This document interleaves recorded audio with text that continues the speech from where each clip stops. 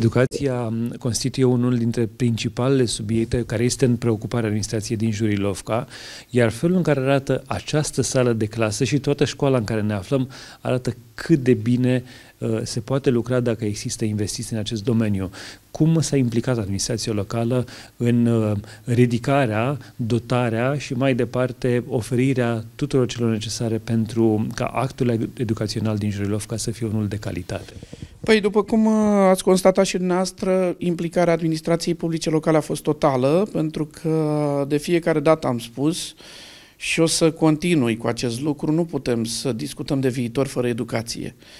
Și acest lucru nu trebuie să rămână numai la stadiu de vorbe, ci trebuie să-l punem în practică. Noi, ca și administrație publică locală, am reușit să implementăm la nivel de comună reabilitarea în tuturor spațiilor de educație și aici vorbim de, pe raza comunei, de cinci uh, spații de, și dacă le putem detalia, de exemplu, avem la Sălcioara școala gimnazială, o grădiniță separată, adică două obiective, la Vișina un obiectiv comun și grădiniță și școală în același timp.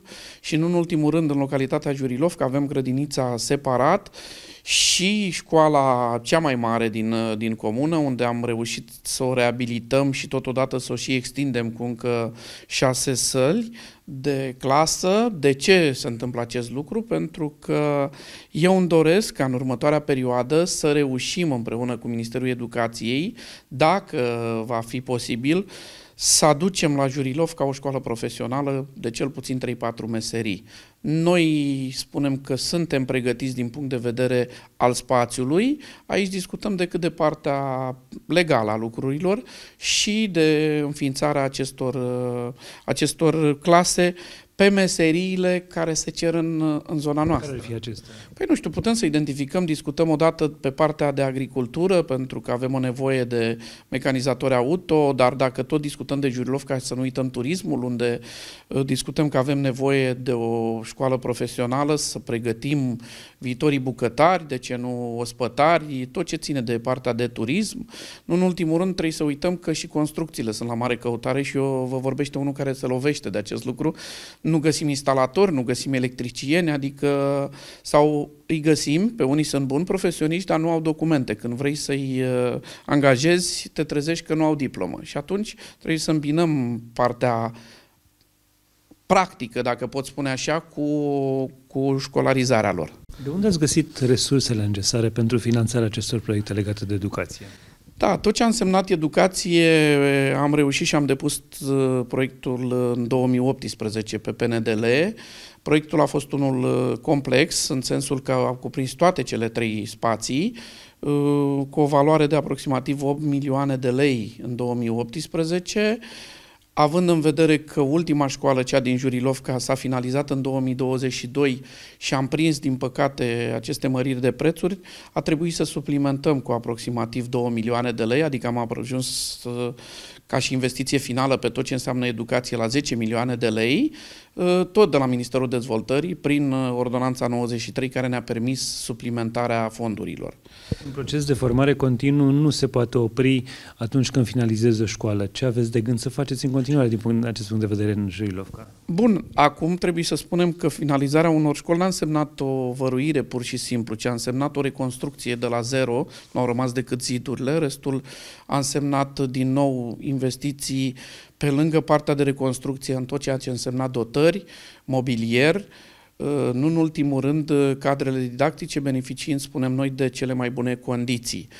În același timp, noi la Jurilovca am implementat, deja finalizăm un proiect pe POCU unde înseamnă reconversie profesională și unde am angrenat și cadrele didactice din Jurilovca, dar mai mult decât atât am avut și un proiect pilot de școală după școală, adică majoritatea copiilor din Jurilovca pe parcursul a trei ani de zile au beneficiat de meditații gratuite, dacă putem spune așa, pe înțelesul tuturor, adică cadrele didactice au avut, uh, au fost implicate în acest proiect și au stat cu copiii după ore, li s-au dat o masă caldă și, nu în ultimul rând, au făcut temele pentru următoarea zi în cadrul școlii.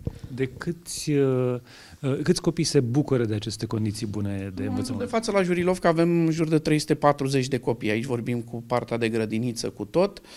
Uh, există și la noi, din păcate, o scădere, pentru că eu am făcut chiar un bilanț la sfârșit de an. În 2012 uh, aveam undeva la 420 de copii, deci avem și noi o scădere pe 10 ani dacă ne uităm, dar nu atât de mare ca în alte zone, lucru care ne bucură, dar uh, trebuie să recunosc că am căutat și voi căuta în continuare să mențin un standard ridicat la ceea ce înseamnă educația din Jurlovca pentru a atrage și alți copii din zonele limitrofe pentru a oferi un, un o altfel de abordare a educației, nu numai strict a materiei, ci exact ce spuneam, să avem și partea aceasta de facilități în plus.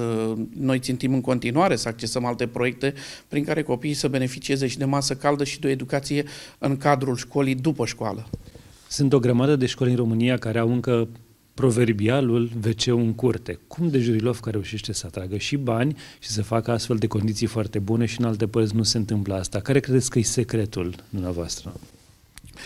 Nici nu știu dacă îi pot spune secret. Totul pleacă de la determinare. Cu siguranță, într-adevăr, vedem și noi în uh, zona de media că mai apar astfel de, de lucruri neplăcute, dar uh, din ceea ce cunosc eu pe parcursul ultimilor ani s-a investit destul de mult și șansa dezvoltării rurale, trebuie să spunem foarte clar, a fost acest PNDL chiar și pentru zona de dezvoltare a școlilor.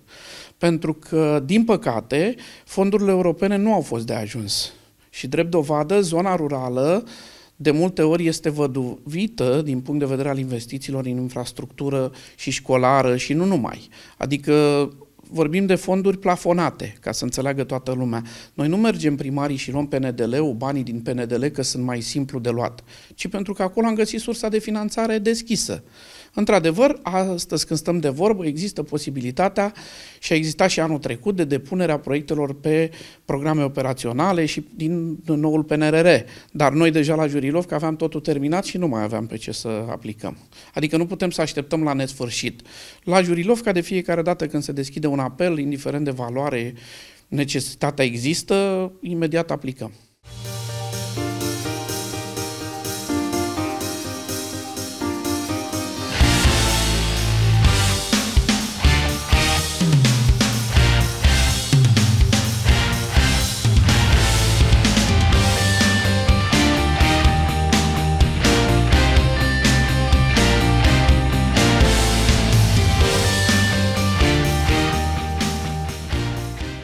Nu se poate educație fără sport, iar uh, Jurilovca va avea prima și deocamdată singura sală de sport din mediul rural, din județ.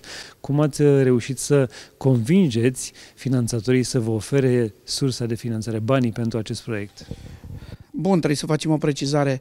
Uh, prima sală de sport pe acest model pe care îl uh, finanțează CNIU, într-adevăr, aceste, uh, acest tip de sală de sport în general era pentru zona urbană, dar faptul că atunci când am depus solicitarea la CNI am argumentat că avem un număr de peste 400 de copii care vor beneficia de această sală.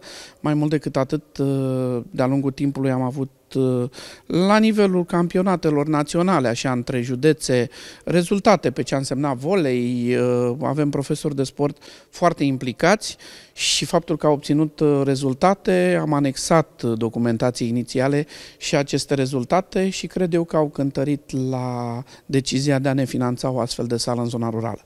Ce va avea, ce fel de dotări va avea această sală și de ce se vor bucura copiii care vor folosi? Vorbim de o sală cu 180 de Uh, locuri, pentru că în general cele din zona rurală erau de 120, adică mai mare.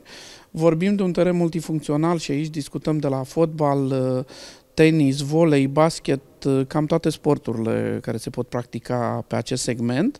Uh, și nu în ultimul rând uh, vor beneficia sau vom beneficia de această sală, în primul rând vor beneficia toți copiii care își fac orele de sport sau și le făceau până acum, așa cum se putea în curtea școlii sau în clase atunci când era iarna. Acum Bineînțeles, principala utilitate va fi pentru copiii de la școală, dar după ce se termină orele uh, de la școală, de această sală va beneficia și locuitorii sau cei care doresc să practice unul din aceste sporturi.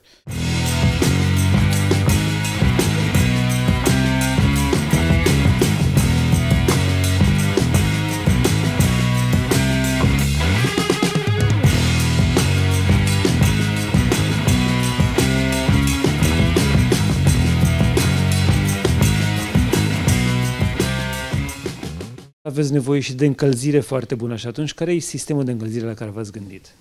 Da, în general, pentru că suntem în zona rurală, am gândit și am solicitat la vremea respectivă, pentru că am avut această posibilitate finanțatorului, să ne prindă o centrală pe combustibil fosil. Aici vorbim de uh, lemn, cărbune și, în ultimul rând, se poate adapta și pe motorină, cu un injector sau pe ulei ars. Uh, o să vedem pe parcursul uh, iernilor și pe parcursul utilizării cu ce combustibile știm cel mai eficient din punct de vedere financiar. Oamenii care vor uh, veni aici vor putea să folosească astfel și iarna. Bineînțeles, pentru că eu îmi doresc acest lucru. Știm bine, pe timp de vară, primăvară, putem alerga și în, uh, pe un teren de fotbal deschis, dar scopul acestei săli era tocmai să avem o alternativă pe timpul uh, rece.